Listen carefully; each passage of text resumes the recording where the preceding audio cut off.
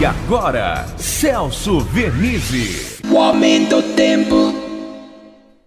Olá, amiga, olá, amigo. Frente fria chegou, anunciamos e ela está aí para alterar as condições do tempo. O litoral sofre muito neste fim de semana, principalmente de hoje, sexta-feira, amanhã, sábado. No domingo já melhora. Inclusive, os períodos de melhoria já vão acontecer no sábado. No entanto, com os ventos e a umidade, ventos que serão fortes em alguns momentos da sexta-feira, a umidade chega e dá sensação maior de frio. Por isso, as temperaturas não sobem além dos 15, 16 graus na sexta-feira, 17, 18 no sábado, aí 20 graus no domingo. Isso vale para a capital também, com muito frio a faixa leste até 100 quilômetros do litoral em direção ao interior.